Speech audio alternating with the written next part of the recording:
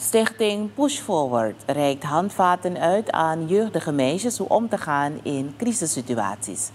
In dat kader is vanmorgen een informatiesessie gehouden waarbij de focus is gelegd op wat je ook verliest, je wint altijd als je voor jezelf kiest.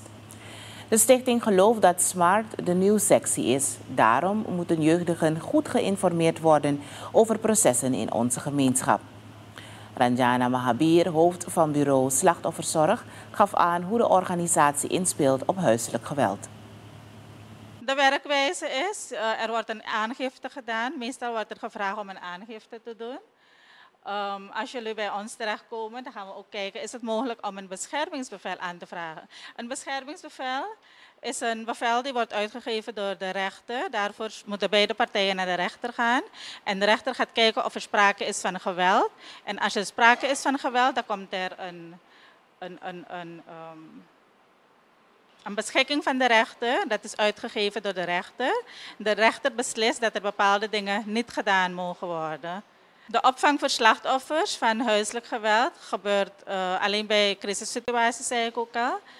Het opvanghuis is op een geheim adres. Dus je partner of wie dan ook weet eigenlijk niet waar je bent opgevangen. Alleen wij weten dat.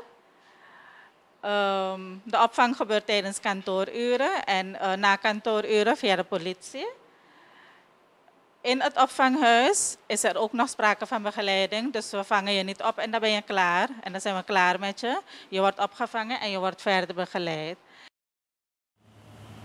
Negesti Wijngaarde, ondernemer en influencer, haalde aan dat bij het ondernemen er in het begin altijd problemen zullen komen.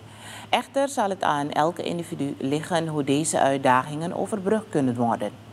Het meest belangrijke volgens Wijngaarden is om bij elke stap te waarderen wat je hebt.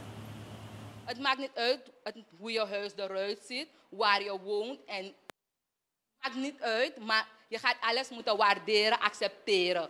Wanneer je dat gaat doen in je leven, dan ga je verder opkomen. En ik heb dat ook gedaan. Ik ga niet zeggen dat mijn huis niet de geweldigste woning is, maar het is ver van waar ik het heb genomen. Stichting Push Forward wil jongeren motiveren door hen het verhaal van jonge ondernemers of influencers te laten horen. Het meest belangrijke bij de informatiesessie van vandaag was dat iedereen ergens moet beginnen en doorbijten. En dat zal leiden tot succes.